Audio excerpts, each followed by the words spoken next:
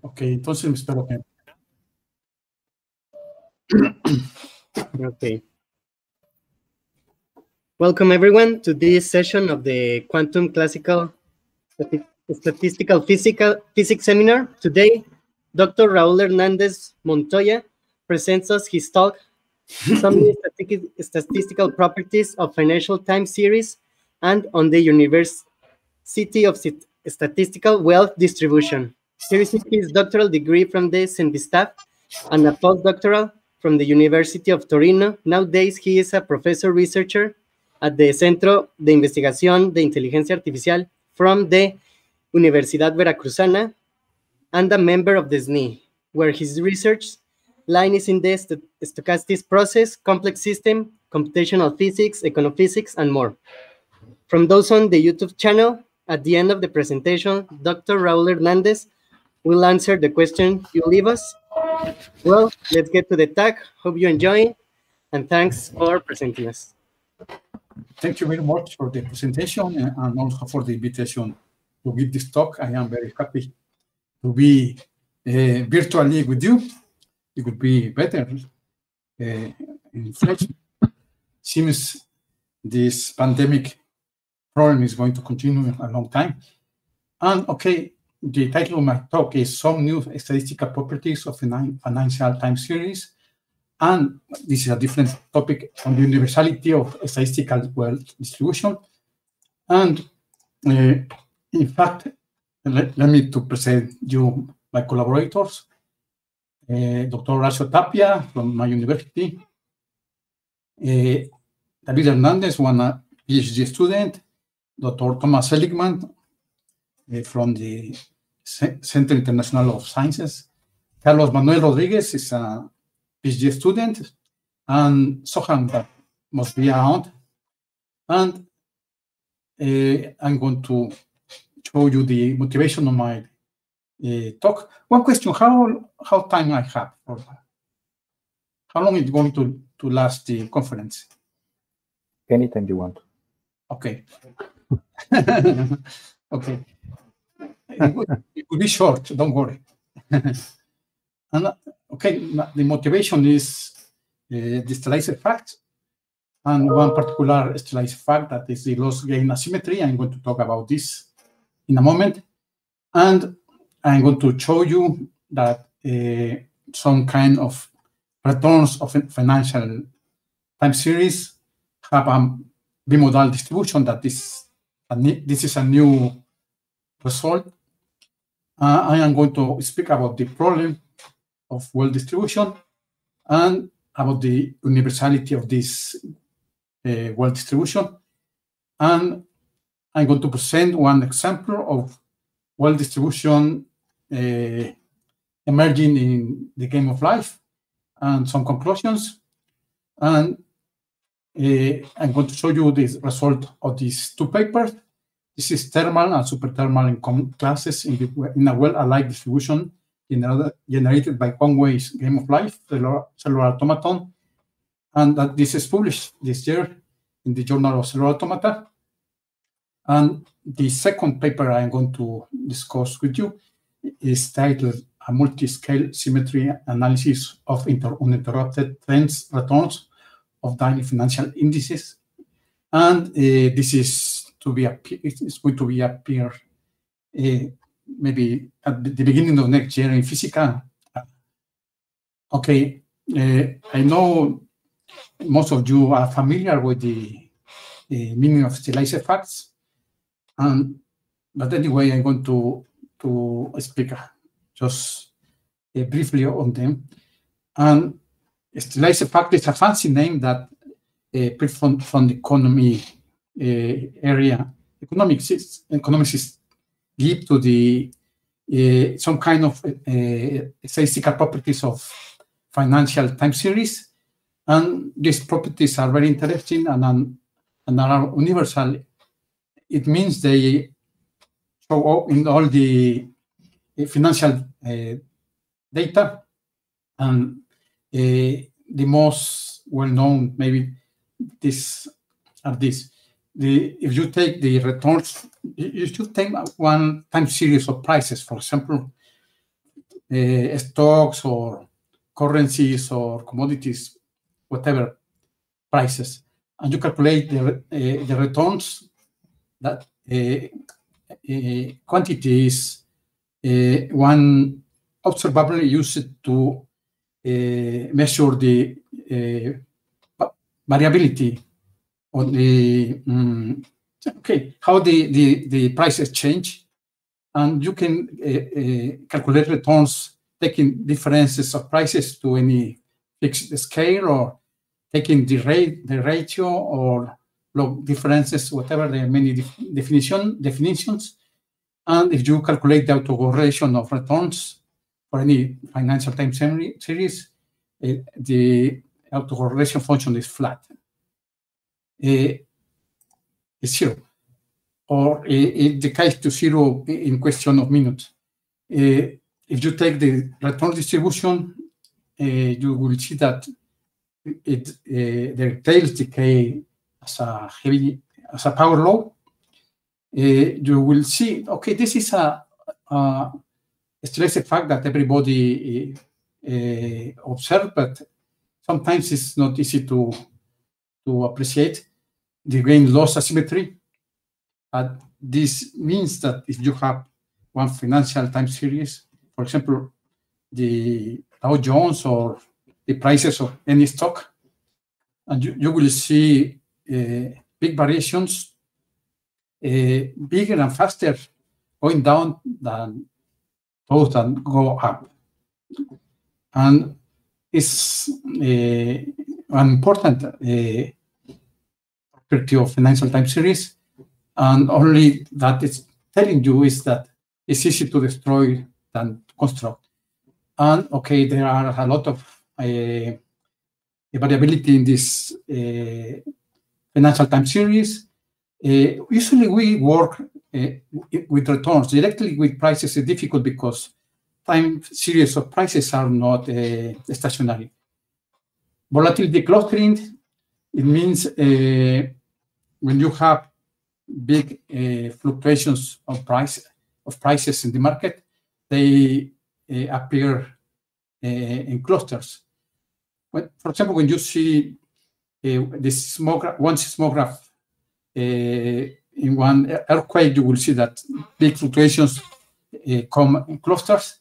Something similar happens in the market, and you will see also okay, okay that in the point one absence of autocorrelations, if, if returns were independent, you could take any function of returns and you had to observe this, the same property of absence of autocorrelations. But that doesn't happen. If you take, uh, for example, absolute returns, you will see heavy pairs of the autocorrelation function. That means returns are not independent. And uh, this is also a very interesting property. And there are many, many. If you want to see a nice paper uh, enumerating these properties and explaining very nicely this topic, you can uh, look this look for this Rama Cont paper.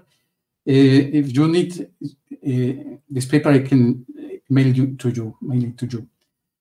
Okay, the importance of return symmetry. You plot the return distribution, you will see that seems symmetric.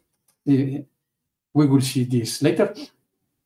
Uh, this is important on the point of view of trading because you must look to open positions when the symmetry is not very strong because if one distribution is symmetric, you will returns are symmetric, you will see that the same probability of winning or gaining is zero sorry, the same probability winning and, and losing, uh, and you will not will be able to to obtain any uh, gaining of this in this market.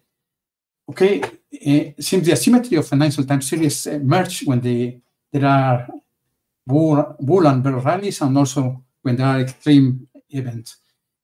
Okay, this, this point yeah, I explained before already and under the uh, a microscopic point of view, I mean, under a point of view of people that uh, study market uh, uh, simulation, for example, it's important because if you have a simulation model of a market, you must reproduce these properties. In, for example, the gain loss asymmetry, and investors prefer portfolios with positive skewness. Okay, and here, because I am working in a project to become a, our institute, our center institute, uh, and I was not expecting to do this. Uh, I'm going to show you directly the paper. Sorry for that. But they, they did this. In this uh, explanation, I use daily returns. I mean, returns calculated uh, in daily data.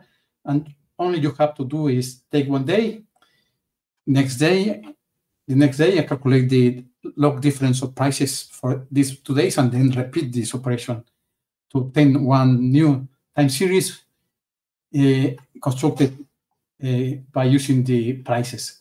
And then you propose a symmetry point. It means a point where the probability distribution of returns has the same area to the left and the right. And uh, you, you propose the symmetry points and you calculate the cheaper returns you subtract the symmetry point to the returns, to the user returns, and then you use one, you calculate one statistical that is was proposed by in one paper in 2006. But I'm going to show you the paper. Sorry for this.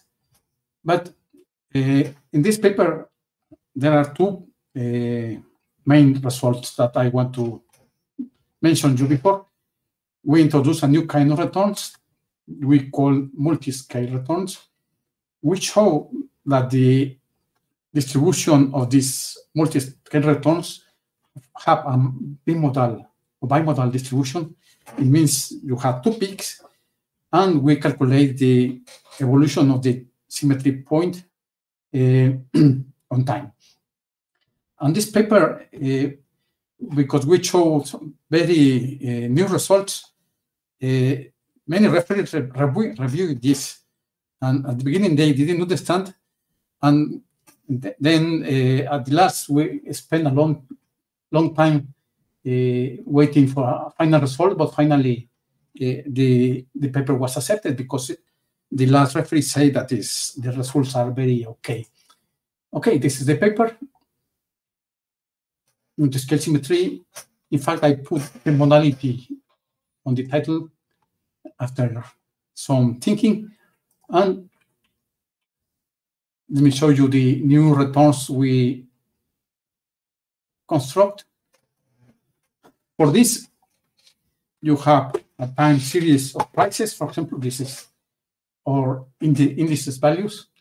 You have the Dow Jones index, and you have this time series of the Dow Jones. This is only the sample, one sample from 1991, November 1991 to January 1992, only to, to show the this idea. And if you have a Eh, consecutive, a, a, okay, if the market is moving many days in same direction, this mean, means the price is increasing two or three or four days, we record this. For example, here the market going down one, one day and then going up two days, and then it was went down two days, and then up one day, and then went down one, two, three, four, five, six, six, six days. And we calculate only the difference between the maximum and minimum of these uh, daily trends. These are uninterrupted trends because there are formed by consecutive increasing or decreasing market days on price. And for example, here the price went down, went, went up one, two, three, four, five, six, seven, eight, nine, 10, 10 days. And then you construct one new time series calculating the log difference of these maximum and minimum values of trends. For example, you calculate this return of 10 days, I mean the log difference between this point and this point, the log difference between this and this, and and then you calculate, you obtain one new time series with returns where different scales of time uh, are incorporated. For example, here are 10 days. Uh, we use 10 days for construct this return, and here two days, and here more days. This is on one return. You calculate here one return of one day, and you obtain one time, time series with different scales, in, time scales incorporated. And after that, you can calculate another kind of return that is this, in this case, is only calculating the return and dividing this between is this is duration. If this return, for example, calculated from this point and this point lasts 10 days, you divide it by 10 days. And you obtain some uh, that reminds some kind of velocity, how fast the returns grow, increase or decrease. And these are the plots of these returns like daily. These are daily returns. This is the plot the we we we name it trend returns, T ret or T returns. And these are the T velocity returns. Velocity because they remind one velocity because you divide one some kind of distance between and this uh, is the comparison of all them. And you can see that uh, returns on trends are much more bigger than the usual daily returns. And this is easy to understand because these returns, uh, if you wait 10 days to calculate one return, uh, depending on the, if the market goes up or down, you expect a bigger variation of the market. And then in average, these are more, uh, these, these T returns have um, bigger amplitude. And then we can see the returns for the markets we studied in this paper, that there were the DAX from Germany, the Dow Jones from the United States, the IPC from Mexico, and the Japanese Nikkei. And these are returns all compared in the same plot. Returns have, has, have no unities, so you can compare them in the same plot. And these are uh, returns also put in a log-log plot. These are the trend returns calculated from the trends. And these are the, this, this figure shows the trend returns for all the markets studied. And these are the TV returns, those that were divided by the corresponding duration, and you will see that there are bimodal. This is the same plot in log scale, and there are you can see some uh, descriptive statistics of these returns, and you can see the returns, multi-scale returns for different uh, time lags. For example, this is the these are the trend returns, those calculated from the uh, uninterrupted trends. You can see for one day, this some kind of, okay, these are normal returns. You have the red line.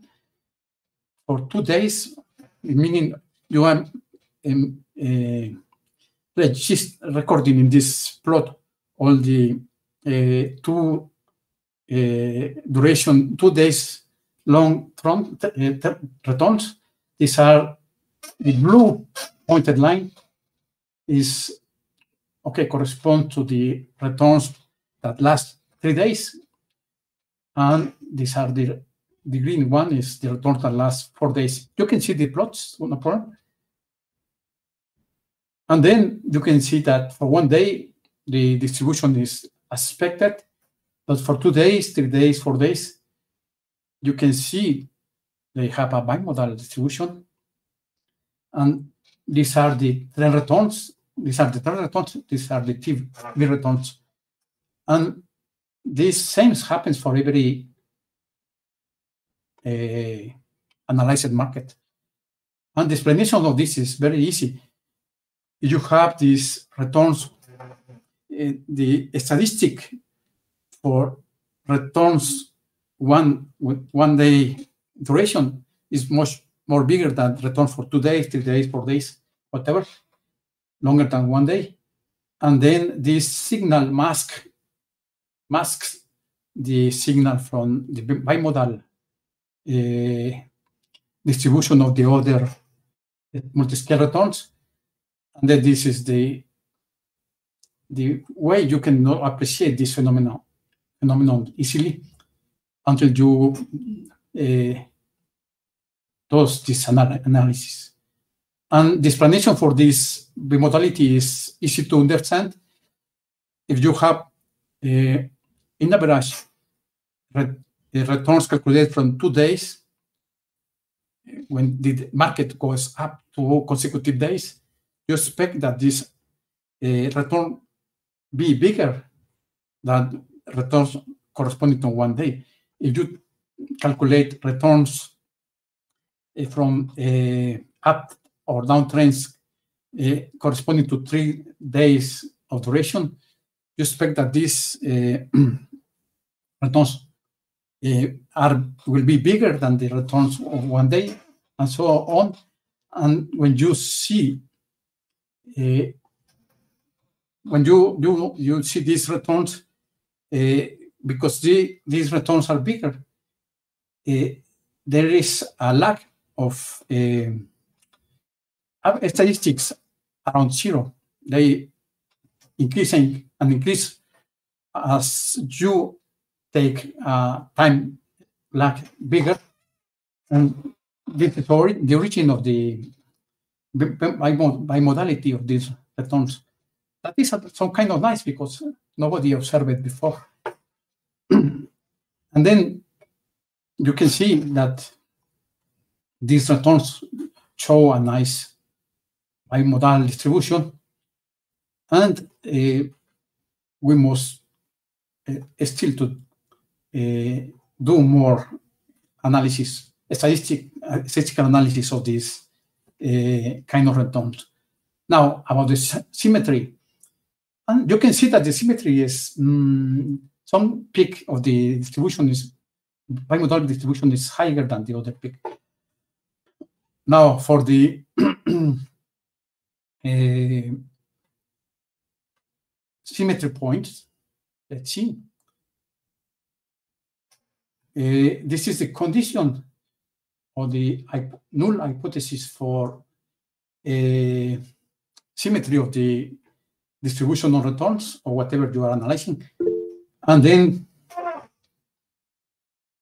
the time scale of the bimodal distribution, you can observe it after two days of, uh, after taking returns with two duration uh, days. I mean, when the market goes up two consecutive days or two consecutive days down. And then you, you see here the condition for bimodality, for symmetry, and you can see here the definition of cumulative distribution and the statistics or the test for statistics that was proposed by Einmahl and McKeague is this. He proposed one statistics that is defined like this, where H is this expression that is a bit complicated. And then uh, the cumulative distribution of these statistics calculated. And the thing we do is only, okay, we calculate these points with another method, but you, you, you can see the paper that where we do this is uh, one paper of 2006, a bit old. And the methodology is propose one symmetry point, take the returns, uh, new returns, where you subtract these symmetry points, or propose the symmetry points to the uh, normal returns, and uh, use this table to list to uh, estimate the symmetry points uh, that satisfy a degree of uh, confidence level and in this way, you can calculate the one interval of possible symmetry points, and the point that minimize this statistic we call the most plausible symmetry point. And this analysis was performed to this data. Let's see here to the different uh, multi-scale and usual returns. And you see here the TN statistic. This is in the line. Uh, the, this is the line red, red line, and this is the the different uh, how I call, I call this the the points corresponding to the statistic, the uh, probability points, and you see that this statistic for the different symmetry points cross the five percent uh, confidence level here, five percent here and here, and we use 90%, okay? For 90%, this is the interval of symmetry, and the minimum is the most plausible symmetry point. And we perform the same analysis for all the markets and for all the different um, scale, multi-scale and normal returns. And these are the results, the symmetry points, and the maximum oh, okay, the optimal symmetry point or the most plausible, plausible and the interval of symmetry. And we can see here the evolution of the symmetry point. For the different markets, this is these are the evolution of the symmetry point for the normal returns distribution for the Dow Jones, the IPC, DAX, and Nikkei, and you can see that it oscillates with this interval of symmetry close to zero, but not zero.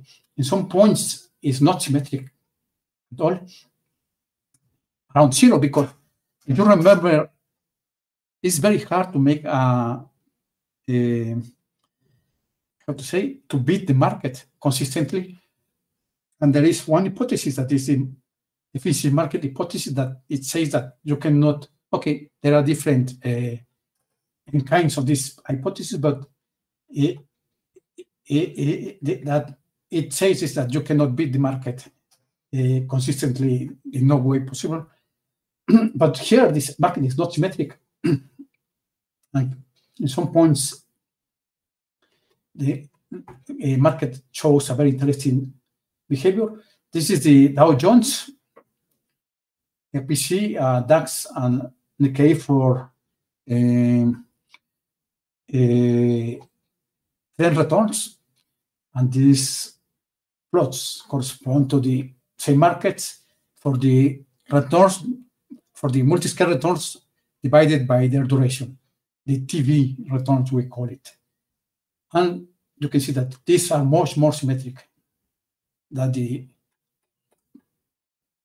these returns or the usual returns.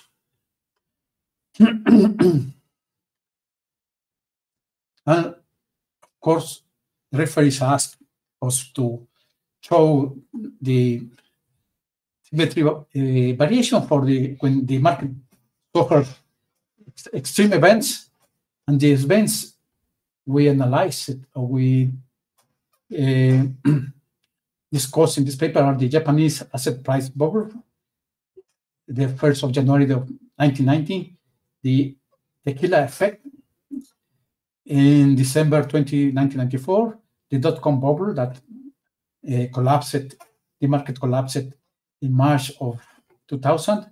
The subprime crisis started in August of uh, 2007. And the Brexit, the Brexit was not a crisis really, but it caused a big fluctuation of the market. And you can see the different uh, prices here.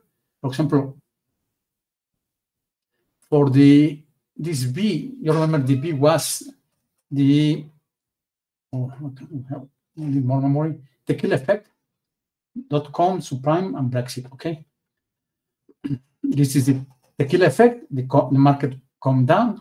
Okay, the symmetry came, came came down, but not negative. Negative, and this is C. And you remember C. I have a not very, very big memory. I, in fact, I cannot concentrate in two different things at the at the time. Dot com. Dot com is here. This was very bad. The symmetry of the market was went down very uh, badly. And this is the dot com. The dot com was worse. You can see here.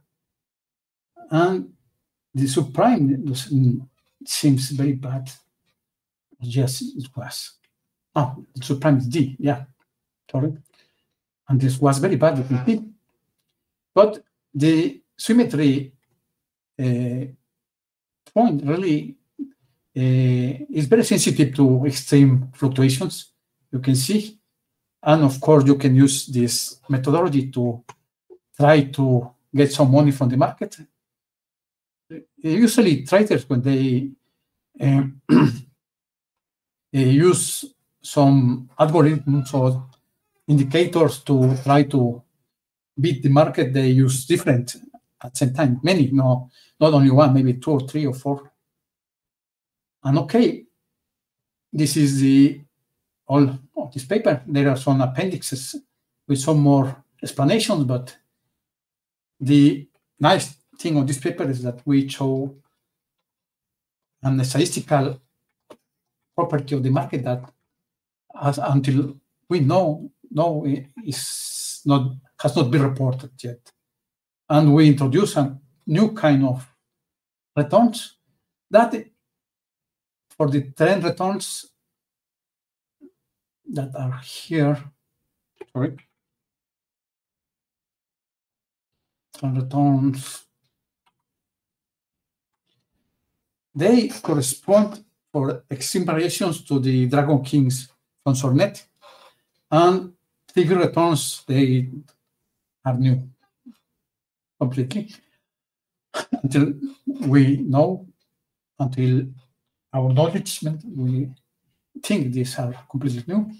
And also the reporting bimodality of multi-scale returns is something that is not supported also until our acknowledgement. Okay.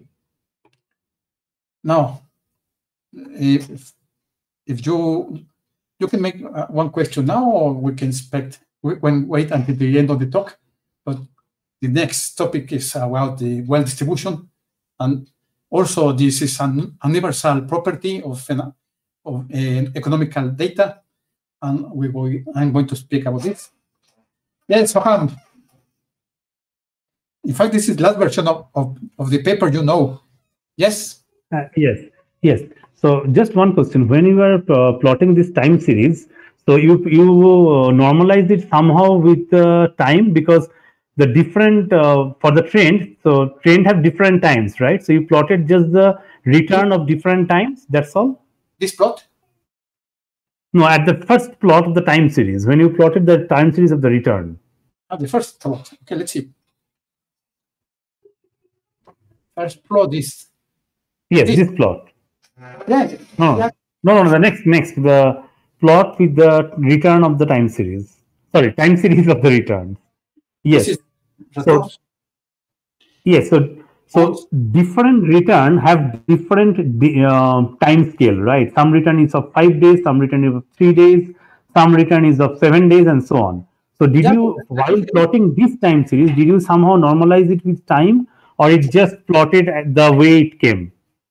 Uh, we plotted in some way uh, as the returns were a function. I mean, for example, imagine uh, returns of 10 days. One trend that goes, mm -hmm. for example, up, the prices goes up 10 days, and then uh, you take the difference between the, the 10 and first day and calculate this return. But you also the, the return from the first day second day adding to the first day, third day adding to the to the to the uh, second day, and then and so on. Because user returns detect differences. I mean, if you calculate the user returns for one trend, that, that goes up 10 days consecutively, you take first, second day, less first day, third day, less second day. But in this case, you add the returns. It's, so, the same, but at the end, you will, will have, okay, the events are the, the, the events are the returns for multi-scale from 10 days, but for the plotting, you can proceed this way. And you can compare this and this for the plotting. And because the scale is big, you cannot find any difference between the way you plot. This is a okay. So this is this is the different. So this is the return of different days. My my point is some return is of five days, some return is of three days, something like yeah, that, right? It could be this from six days or then ten days. I don't know. But these are daily and these are multi-scale. But you can plot them in the same scale, vertical scale. Okay, thank you. The second question what I am asking is that uh, is the distribution of these time scales have been studied? Yes. These distributions or better this one? These distributions? So this is the distribution of the returns, right? Yeah, but aquí, but here you they are uh, displayed uh, in separate uh, separating by their time lag and by their duration. For example, here you put all possible returns from different time lags in the same distribution. And here you put you, here only the returns corresponding to one day. Here the returns corresponding to two days, here to three days, here to four days and these are different histograms, histograms. And in fact, because we have not enough, enough statistics to show more time lags, but at the end you will find one distribution separated from other distribution corresponding to the ex most extreme events of this uh, return, of this, uh, okay, uh, yes. events, yes. Yeah, thank you. I, I was asking that the uh, the distribution of this time lag that have been uh, that have a specific structure. For example, some trend is of three days, some trend is of five days. The distribution of these numbers three, five, seven. Okay, for which yeah, for this time lag, if, for the long years that that have been studied. In fact, we studied that. Uh, Carlos showed me some plots, and but, but we left because left it because he must graduate and I must to write projects. okay, thank you. Thank you. Thank you. Okay. I'm going to procedure now to proceed now to show you the this paper, thermal and superthermal classes in a wealth-alike distribution generated by Conway's Game of Life through Automaton. And you can down, download from this journal, Journal of Cellular Automata, corresponding to this year. And these are my, this is my PhD students from mathematics uh, faculty, from the mathematics, mathematics faculty, and other colleagues. And let's see, uh, I don't know if you are familiar with what is a, a cellular automata, but I can explain you quickly. Uh, okay, this is the second part of the talk. Um, as I told you, we are going to speak about the statistical wealth distribution. And the point or interesting point of this uh, topic is that you know that wealth distribution of one country or society or uh, whatever, for example, companies, companies, there are some companies that are richer than other companies I mean, bigger.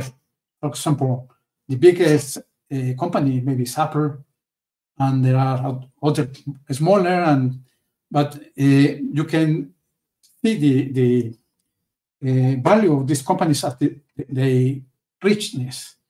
And if you take, if you plot in one histogram or the cumulative distribution function, uh, the wealth of population of people or uh, companies or countries, for example, how rich are different countries, you are going to obtain the same uh, distribution. Uh, and this distribution has a log uh, distribution. Let's see, in the for the richer uh, population, the distribution is a power law. And for the medium and low income uh, uh, region is a Gibbs, exponential Gibbs, or a gamma, Physic, physicists say it's a gamma, and economists, economicists they say is a log normal. So this distribution uh, has two components. One component for the richest population is a power law. For the medium and income and low income population, the gamma or exponential. And then uh, uh, the interesting thing is that this same distribution or this the same uh, components of distributions, I mean, uh, exponential and um, power law, uh, this appears in different phenomena, not, not only in economics, only in other systems. And I want to say that, or I will say that this universality is much more uh, universal or much more powerful than, than only in economics. I mean, uh, if you have a system where the agents exchange something, money, information, energy, whatever, and this system is enough, enoughly uh, complex, you are going to, to obtain the same these results. You are going to show this distribution and or this uh, combination of distributions. For example, uh, I the, the paper I show you, this one is uh, this paper is analyzed one cellular, cellular automaton that is named the game of life, and the game of life is a very interesting system with a lot of properties.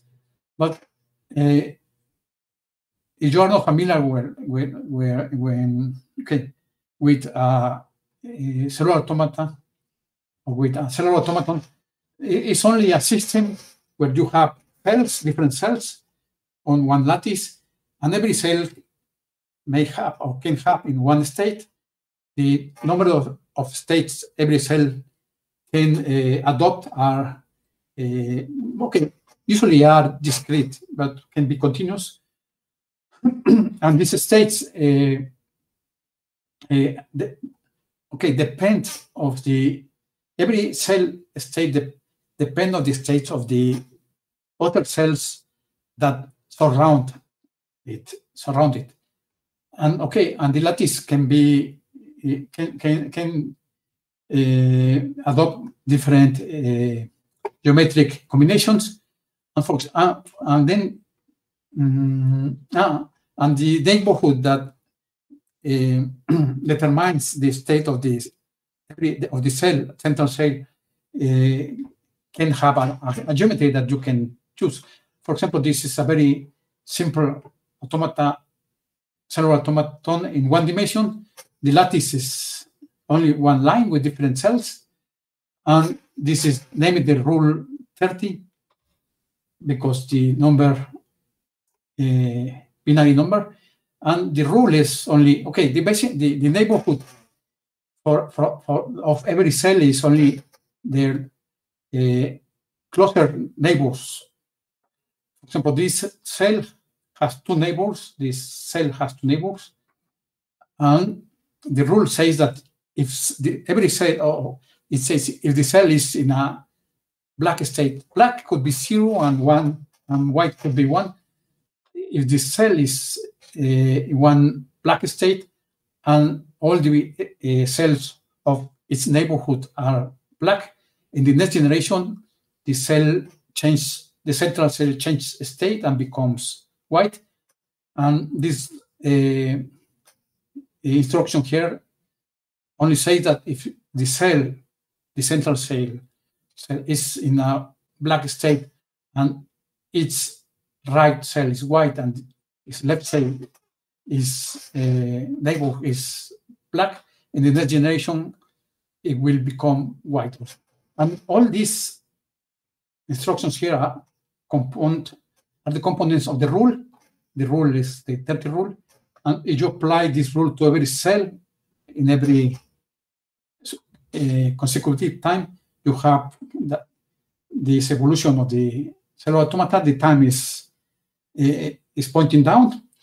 And for example, this cell here is black and has two white cells uh, as a neighborhoods, as a neighbors, sorry, and they are white. And the the the rule says that the the the cell will become or will, will it will stay white black in next, next time. So this cell becomes okay doesn't change its state continues uh, as a black cell and okay you can play with computers and get very nice patterns with these automatas and there is a classification that uh, according to the rules, they can have a, a they eh, evolve to one fixed state or one quiescent state where after that doesn't happen or they are periodic. The, the behavior of the automata is periodic or chaotic or complex. And there are some emergent properties. And here are some rules that suppose they adopt. They are uh, classified uh, following the classific classification of Wolfram. This uh, reaches a limit point. This is periodic. This is chaotic, and this rule uh, makes the automata the automaton becomes uh, one automaton with complex behavior. And you can play the same game in two dimensions and you have different kind of neighborhoods for different cell. For one cell, okay, this is one neighborhood called Moore, the radio radius zero. You have a Moore neighborhood or radius one, radius one or two or three, and the central cell has a contact only with this first neighborhood, and here with the second neighborhood and uh, third neighborhood, whatever. No, and the von Neumann only considers the, the von Neumann neighborhood only considers the cells up and, and to the sides.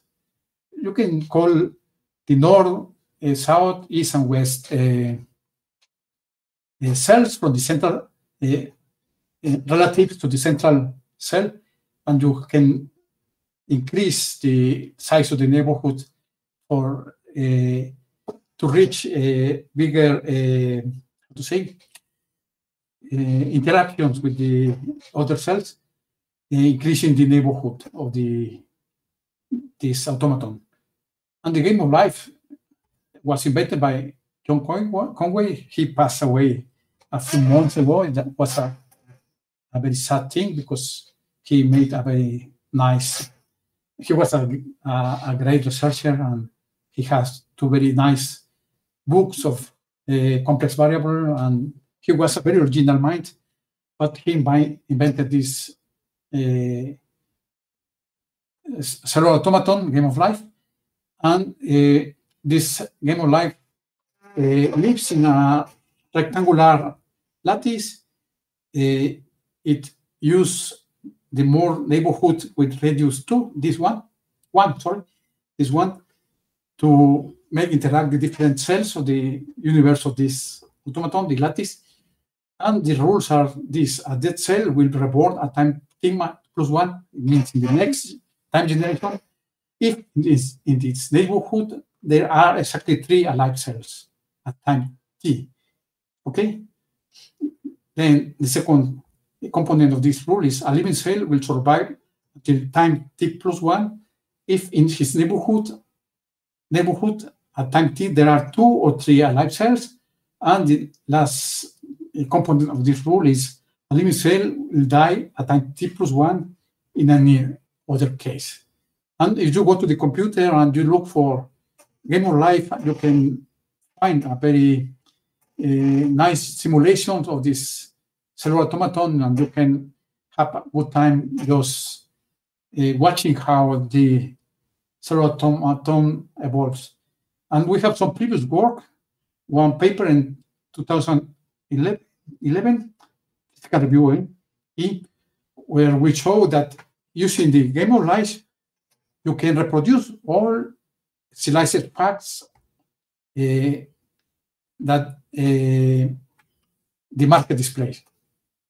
And that's a very nice thing because with this cellular automaton, you can reproduce all the stylized facts of financial economic time series.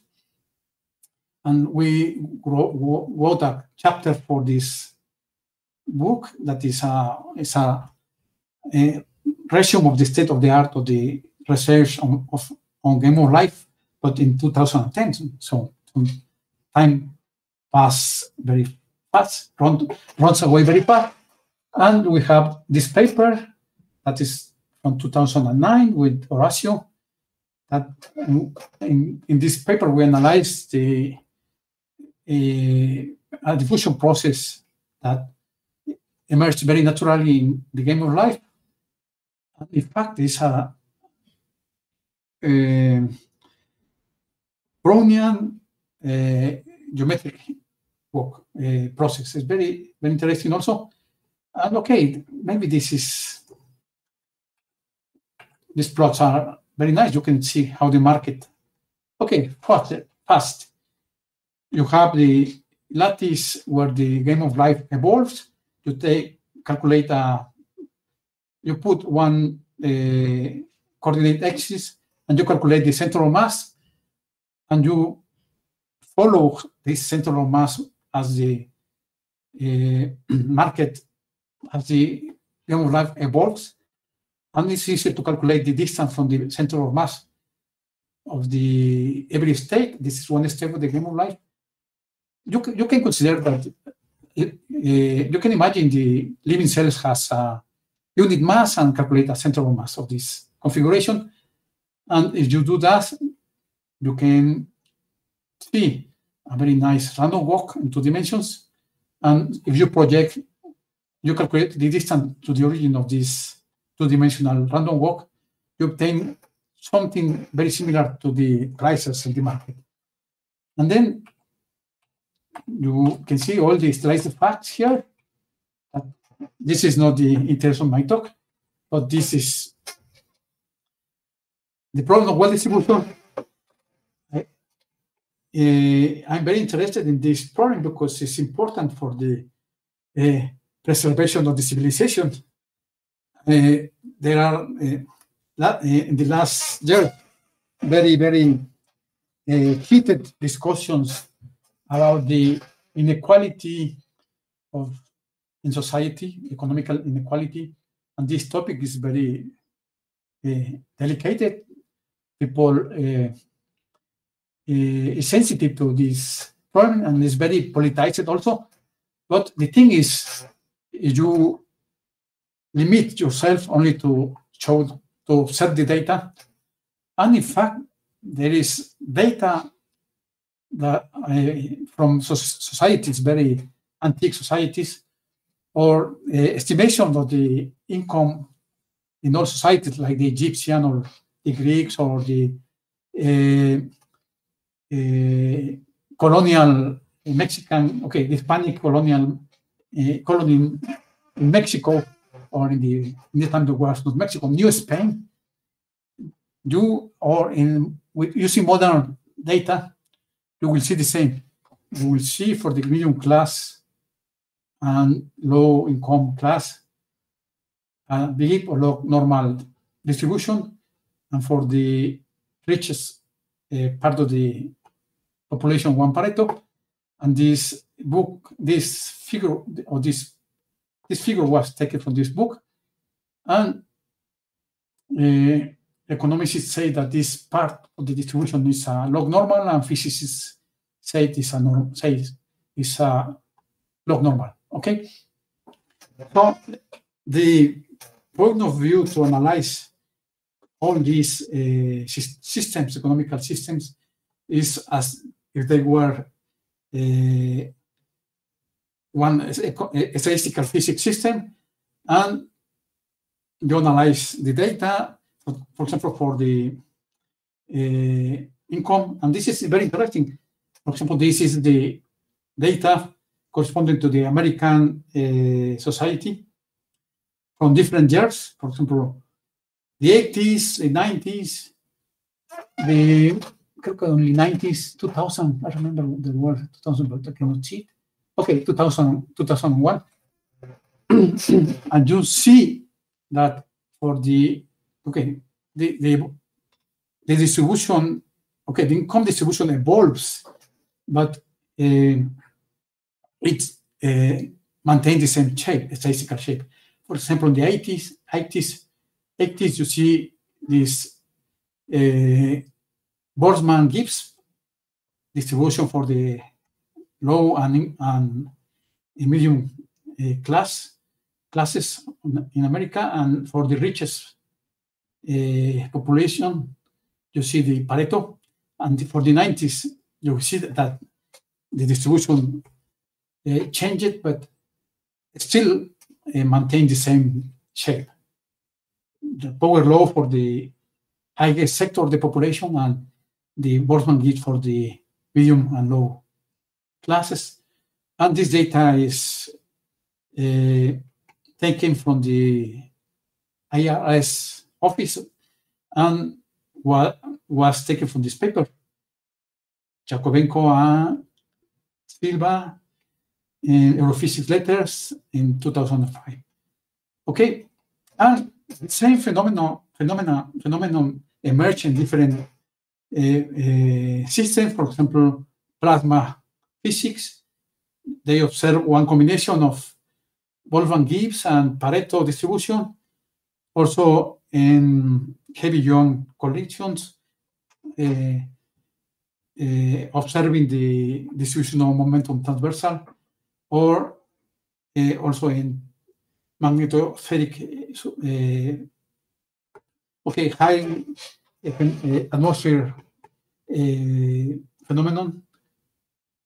And they observe also the same distribution. And there are more, for example, for example, in collisions PP bar of lead, lead ions, they observe the same phenomenon. Know, charged particles, or when they measure the range, the, the, the ranking of different pop songs in Germany, or in the Ising model, or now ongoing games of life. And in all these phenomena, phenomena, you observe this combination of uh, one gamma or exponential and a power law. And these are the papers I just mentioned. and these are the gamma and power law distributions for this dynamic extension of two component models, exponential and power. They observe a double power law. And for the Ising model, if you count how many times every cell change state, the, the interesting cases for the critical state, critical state, and you account how many times the, the every chain, cell change state. Um, for example, you consider if the spin of the cell goes up and they gain one uh, unit of money and it goes down, down the loss in one unit of money, you will see the same distributions. One, you will see the gamma and you will see the power law here. Power law, gamma, and a Gaussian when you uh, consider the Ising model, Ising model in for high temperatures. And this is the wealth distribution in the game of life. And at this point will be nicer to show you the paper. And these are the plots. You see the plot for different uh, cases. Let's see. this is the same, but in different scale. This is wealth distribution. As the distribution comes directly, this is in a log vertical scale, in a log log scale. And the thing we do, what is same? You only consider every cell of the game of life as if we're one individual and you account how many times uh, it changes state. In fact, every time the every every every cell changes one state, for example, become white, white we uh, put one coin in that cell. and then we count how many times it was changing.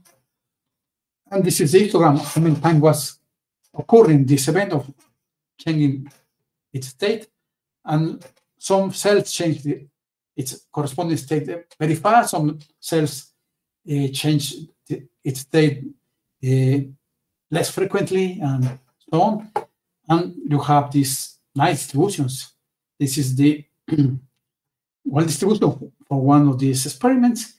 Uh, you see this nice peak here. This is a, in a log scale. You see that this part seems a okay is a, a, a straight line in a vertical log scale, and in a log log you can appreciate one power law.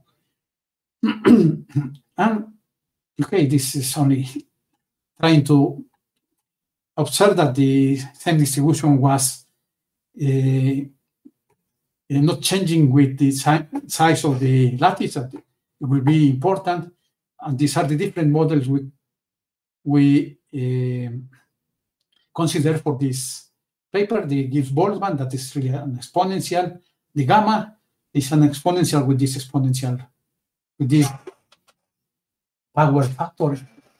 And the log normal is used by the economists to uh, model this phenomenon and the power law. And then you see here the points are the data, data. These are log-log plots of this so-constructed, also called wealth distribution.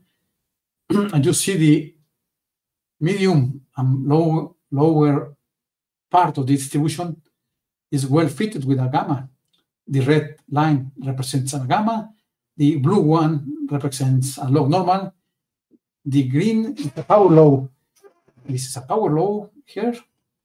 And this is a effect of the uh, size of the lattice. In fact, the lattice was very big, 3,000 by 3,000 cells, 9 millions of cells in the overall. And this is the statistics we observe. We fix the game of life initially, initially, initially with as a density of living cells, for example, 20% living cells initially before to, to make the game of life evolve, 30%, 40%, and 50% living cells and these are the cells with one income or, or one uh, wealth lower than the 60 and this upper than 60 because it changes six times. Okay, you will see the histograms. And this is the region for the power law. Low, medium, high income is bigger than 60. And we only consider until 2000 uh, changes of the state this system for every cell. And this is the gamma, the cumulative distribution of the gamma. Okay, the cumulative distribution observed in the gamma line, the empirical distribution, the red uh, points, sorry, the black points. This is the gamma. This is the log normal. Gamma is in red, the log normal in blue. And you can see here that both both uh, plots or both models seems very nicely. But if you consider the CDF cumulative distribution function of data versus gamma and this uh, scale and this uh, plot, you can see that the uh, gamma model is much more better than the log normal. This is log normal, and this is the gamma. Okay, here is a scatter plot of, the well commuted distribution function empirical and the model, the fitted one. And you can see that really the gamma is a better fit for the data. Okay, and you can see all the parameters and the errors from the fits here. And this is, okay, this all these plots correspond to the medium uh, and lower class classes of the uh, game of life wealth distribution. And these four plots correspond to the uh, richest cells of the game of life. And you can see that the, this wealth distribution corresponding to the wildest part of the distribution is really a power law, a nice power law with these exponents 1.72 for the 20% uh, initial live cells. This is for the 30%, for the 40% initial live cells, and this 50% alive cells. And uh, the exponents are very similar. And what is this? Okay, the fit, all the parameters and the t square. Ah, and also we calculate the Gini. I didn't remember that the Gini component, the Gini coefficient.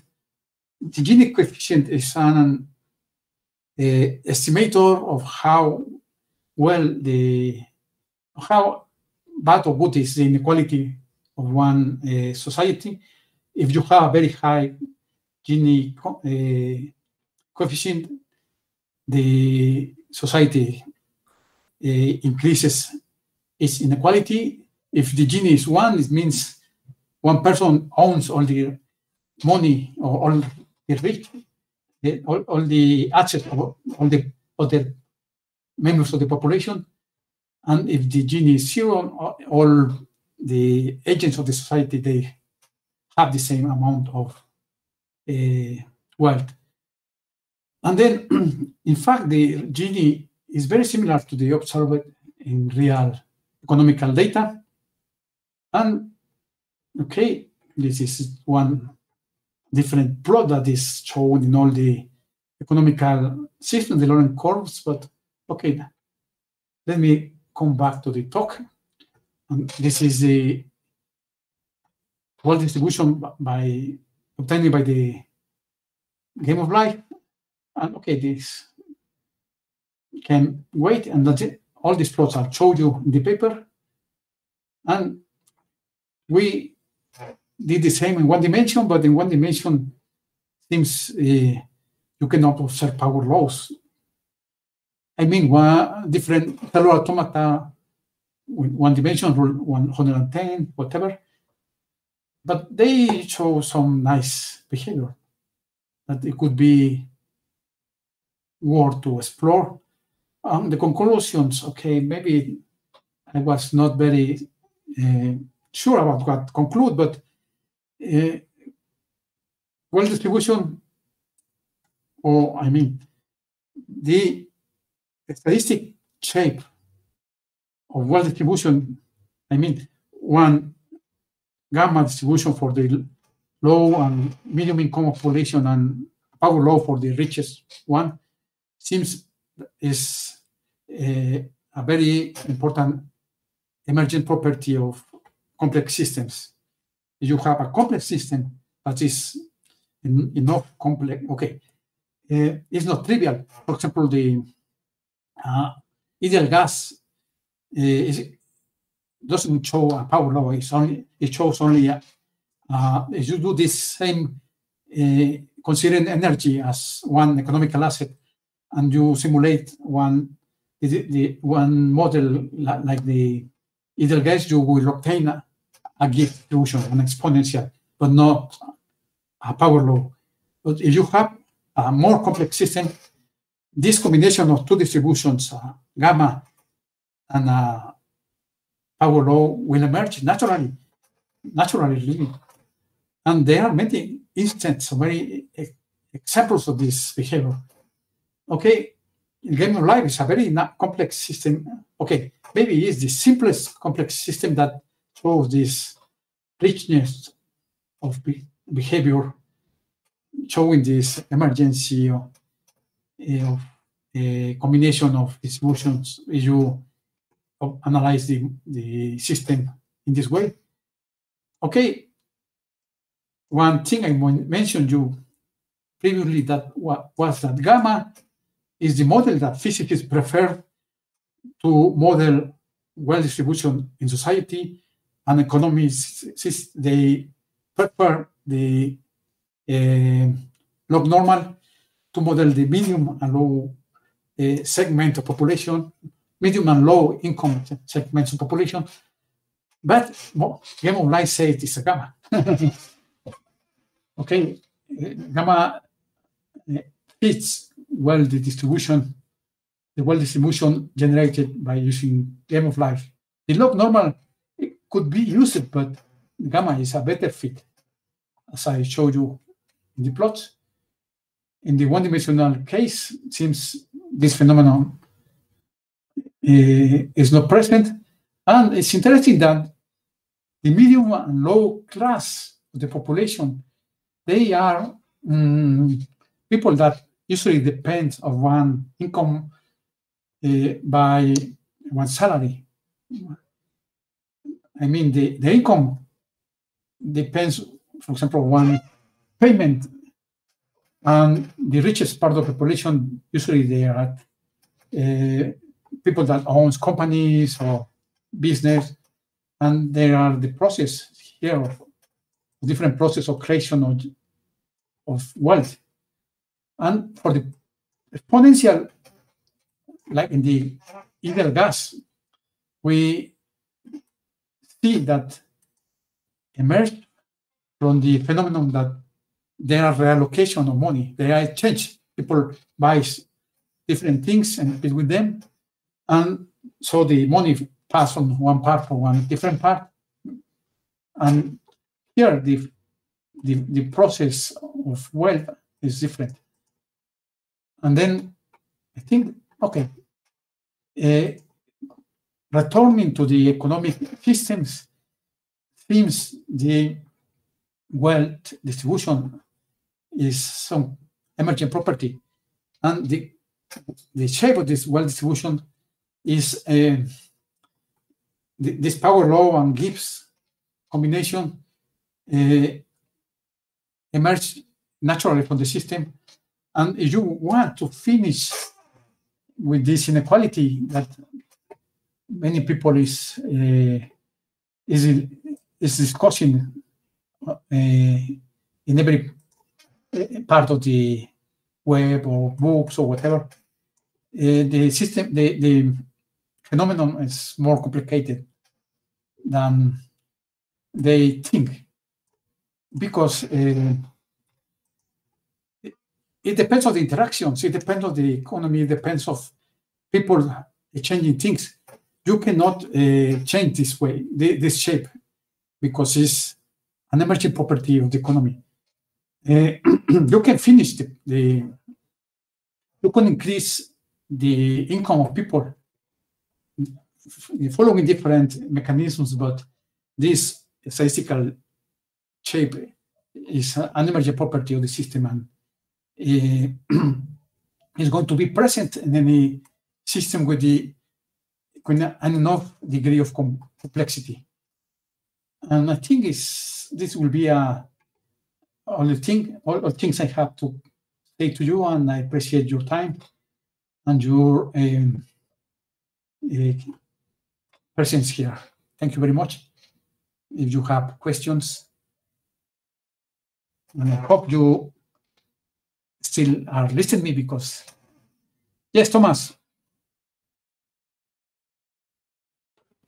Okay, well, uh, thanks for the talk, first of all. Yeah, I have a question. I mean, related to the last part. So, this part. Oh, sorry, just um, to the power law, to the exponents of the power law distributions for this ah, game of life. The so some, somehow it depends on the initial density, right? No, since they are very plenty. Or, very purely. Let me let me show you the plot. Okay, okay.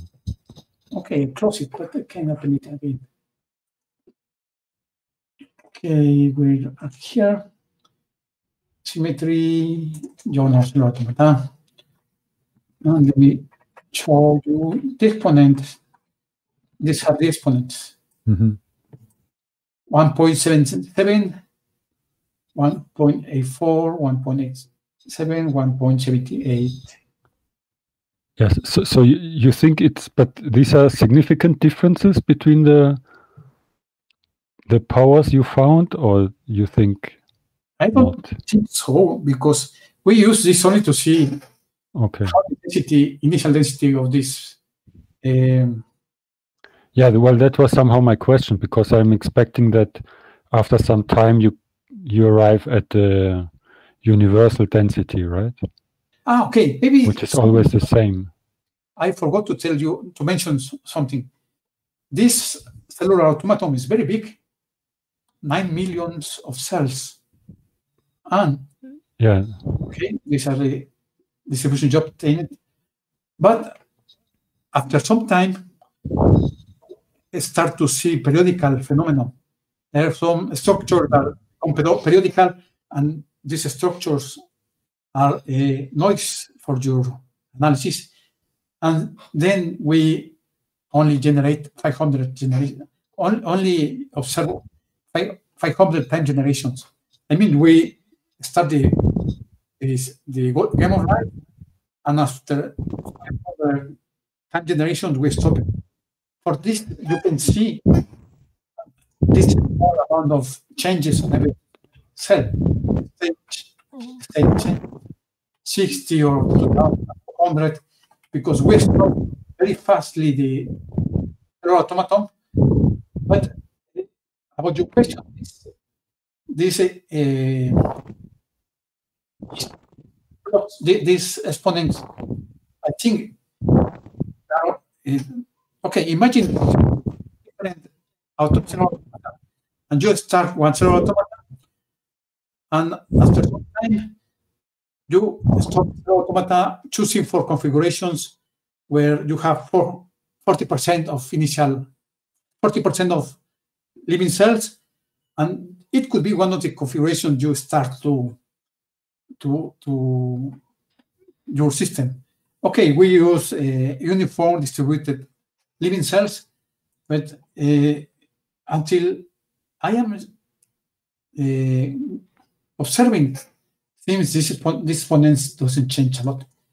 I, I don't know. Uh, in fact, uh, I need to make more analysis to see what's is going on. But uh, Okay. I mean, Sorry. there, there is of course. This is a related question, right? I mean, to what extent this is stationary? So, when you start with your uniform density in the board of Game of Life, then the first, uh, say, several hundred steps, it's not really, it's not a stationary process, right? Because um, it goes from a uniform distribution to some distribution which is uh, much less uniform, much uh, clustered, and so. Okay, I can answer your question with this uh, old analysis we we did. Let's see.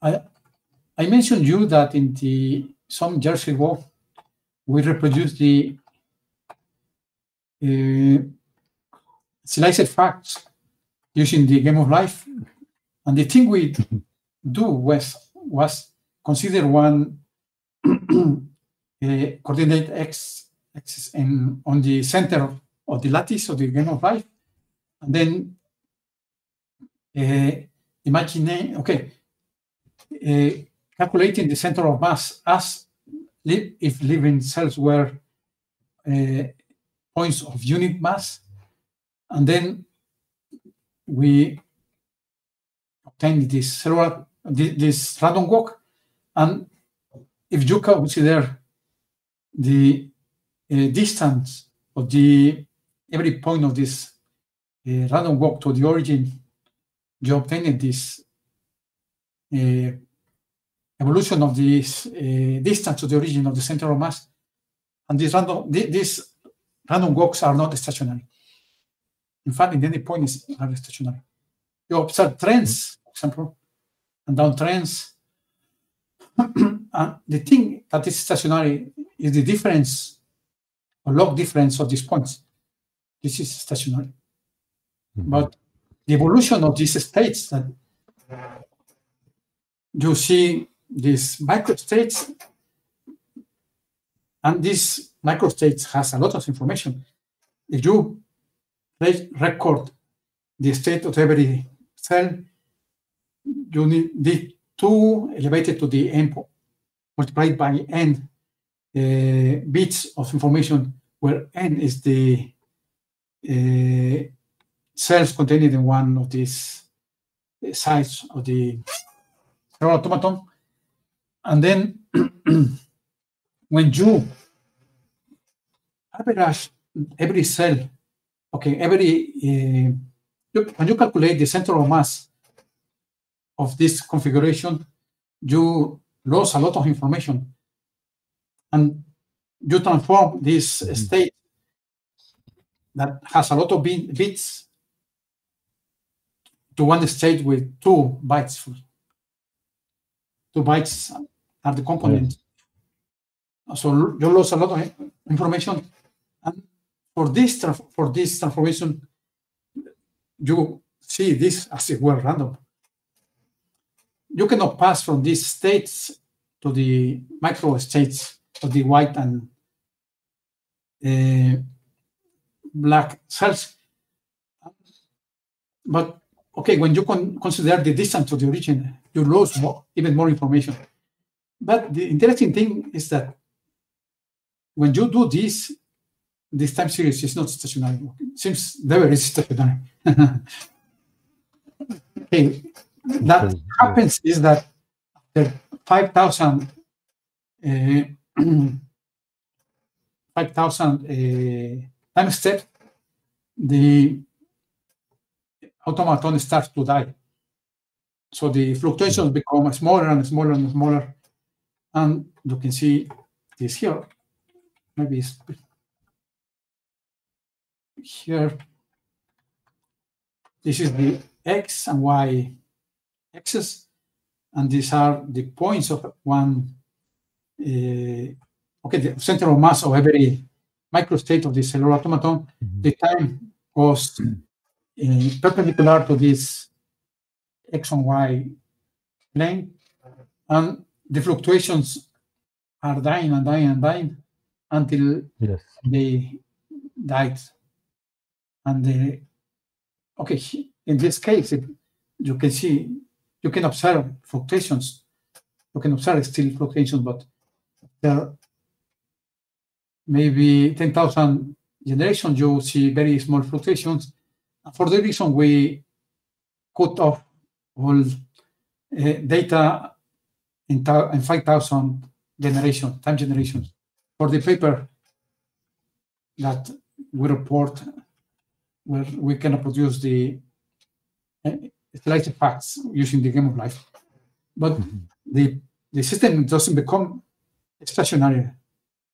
Really, it dies, but yes. since it's uh, non-stationary all time, permanently. Mm -hmm. Yeah, thank you. Okay.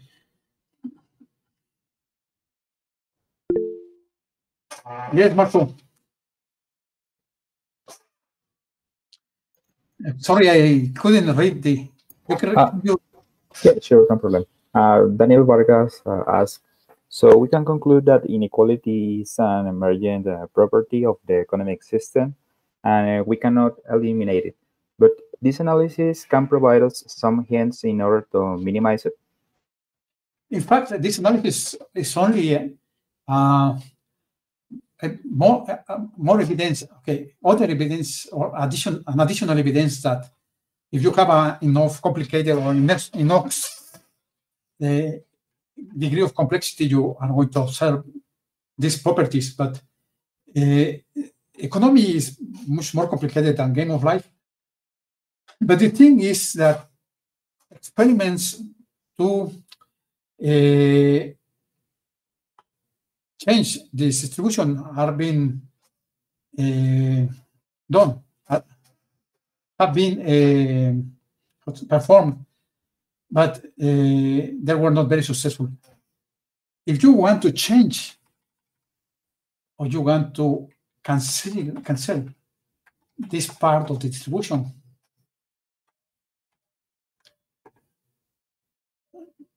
or this part, you must forbid all interactions.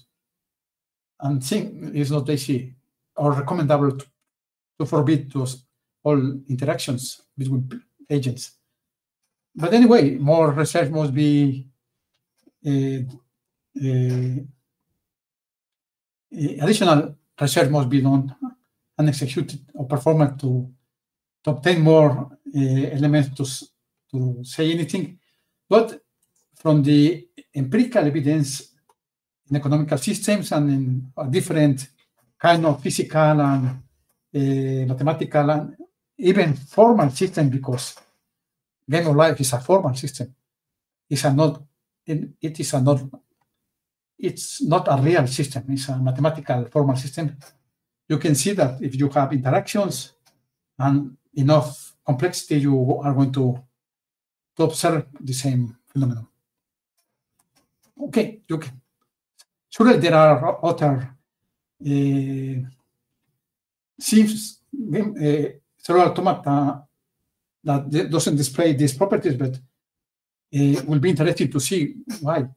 But when you have less complex cellular automata, you don't observe this uh, wealth distribution. You observe more sim simple things. But seems this is this universality property, universal property of wealth distribution is more universal than people think. think. it's very interesting. On my point of view, it's very interesting because you observe the same shape in many, many phenomena. Let me see where I put this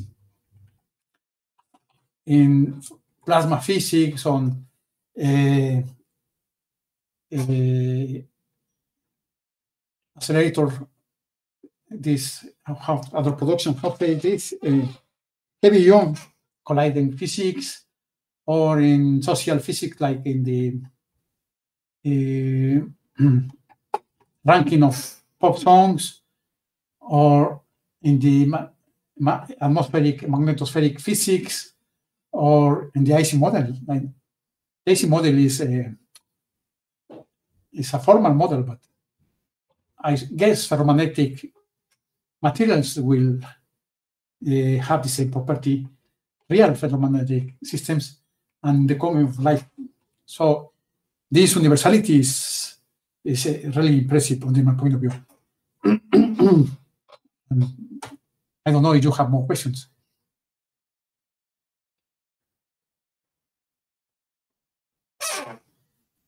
From okay. YouTube, we don't have uh, any other question, but we have a comment from Antares 2040. He or she says, good talk and greetings from Ciudad Juarez. Sorry, I, I at some point I couldn't listen to you. Uh, no problem. Just a greetings from Ciudad Juarez from someone which name is 2040 Antares. Okay, sure. Ah, there are people that is.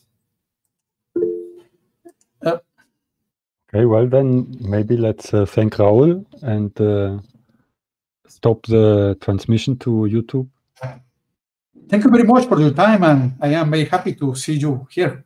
In fact, uh, in, in this time with the pandemic uh, situation, is uh, many many meetings are being being cancelled and now this is the only way to keep in contact with uh, friends and colleagues and i appreciate your time and your right. attention